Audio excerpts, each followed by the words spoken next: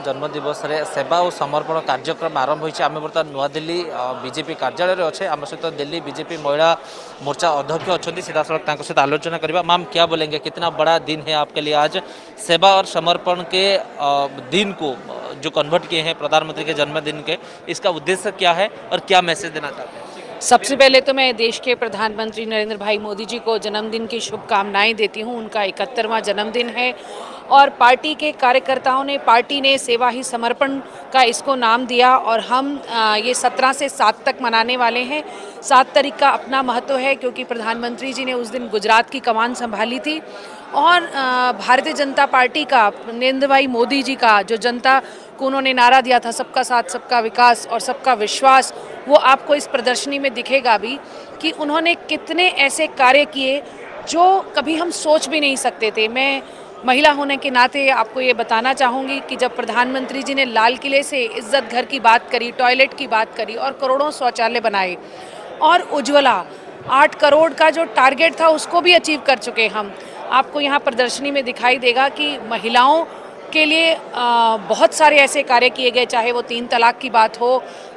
उज्ज्वला की बात हो स्वच्छता की बात हो। और अनेकों अनेक योजनाएँ सभी योजनाएँ गरीबों महिलाओं और शोषित वर्ग को समर्पित योजनाओं पे काम। भी उसको दिन को लेकर सवाल उठा रहे हैं तो उनके ऊपर आपका क्या बोलना है? देखिए हम प्रधानमंत्री जी के जन्मदिन पे सिर्फ़ सेवा कार्य कर रहे हैं। महिला मोर्चा इक्कीस तारीख को हमारे पूरी दिल्ली में हमने सोचा है कि हम हर ज़िले पे चौदह कैंप तो 21 तारीख को ही लगाएँगे जिसमें हम स्वास्थ्य चेकअप कैंप लगा रहे हैं महिलाओं के स्वास्थ्य की चिंता करते हुए क्योंकि अगर महिला स्वस्थ होगी तो भारत स्वस्थ होगा। तो ऐसे ही हम आज सत्तर मेट इकहत्तर मेट्रो स्टेशन पे टॉफ़ी और चॉकलेट का वितरण कर रहे हैं। हमारी सभी कार्यों में आपको सेवा कार्य नज़र हफ़्ते भर में क्या क्या कार्यक्रम दिल्ली तरफ़ से दिल्ली में हो रहा है और खास करके आज ऐसे ब्लड डोनेशन कैंप का भी शुरुआत हुआ है। तो ऐसे क्या और क्या क्या कार्यक्रम आप करने वाले हैं? देखिए पूरी भाजपा हर दिन कोई ना कोई सेवा का कार्य करने वाली है। चाहे फिर वो राशन वितरण की बात हो ब्लड डोनेशन की बात हो हेल्थ चेकअप्स की बात हो और अ, हम अ, क्योंकि ये पोषण माह है इस महीने में हम महिलाओं को पोषण भी बांटेंगे जो प्रेग्नेंट विमेन हैं उनको टारगेट करेंगे। अनाथ बच्चों के अंदर राशन पोषण का वितरण करेंगे। अनेकों, अनेक सभी कार्य सेवा के रूप में दिखाई देंगे। हमारे सभी कार्य प्रधानमंत्री जी के जन्मदिन के उपलक्ष्य में। ଆପଣ ଶୁଣୁଥିଲେ ଦିଲ୍ଲୀ ମହିଳା ମୋର୍ଚ୍ଚା ବିଜେପି ଅଧ୍ୟକ୍ଷ ଯିଏ ରହିଛନ୍ତି ସେ ସିଧାସଳଖ ରଖୁଥିଲେ ଯେ କିଭଳି ଭାବେ ସେମାନେ କାର୍ଯ୍ୟକ୍ରମ ନେଉଛନ୍ତି ପ୍ରତିଦିନ କିଛି ନା କିଛି କାର୍ଯ୍ୟକ୍ରମ ହାତକୁ ନେଇଛି ଆପଣ ଦେଖିପାରୁଥିବେ ମଧ୍ୟ ଆ, ପ୍ର- ପ୍ରଧାନମନ୍ତ୍ରୀ ଉଜ୍ଜଳା ଗ୍ୟାସ୍ ଯୋଜନା କଥା କୁହନ୍ତୁ ଶହୀଦଙ୍କୁ ଶ୍ରଦ୍ଧାଞ୍ଜଳି ଦେବା କଥା କୁହନ୍ତୁ ସ୍ୱଚ୍ଛ ଭାରତ କଥା କୁହନ୍ତୁ ବା ସଚ୍ ସାଥୀ ଯେଉଁ ଯେଉଁ ଲେବରମାନଙ୍କୁ ଅ, ନିଜର ସହାୟତା ରାଶି କଥା କୁହନ୍ତୁ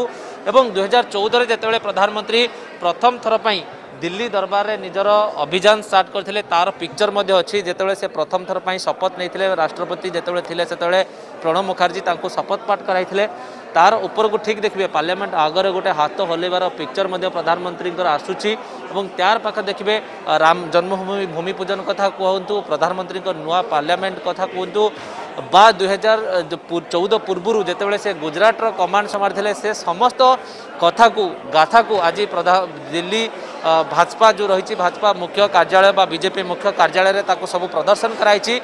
ଲୋକଙ୍କୁ ମଧ୍ୟ ଅ, ଛଡ଼ାଯାଇଛି ସାଧାରଣ ଲୋକ ମଧ୍ୟ ଆସିକି ଏଠାରେ ଦେଖିପାରିବେ ଯେ କ- କି କ'ଣ କ'ଣ ପ୍ରଦର୍ଶନ କରାଯାଇଛି ଏବଂ ପୁରା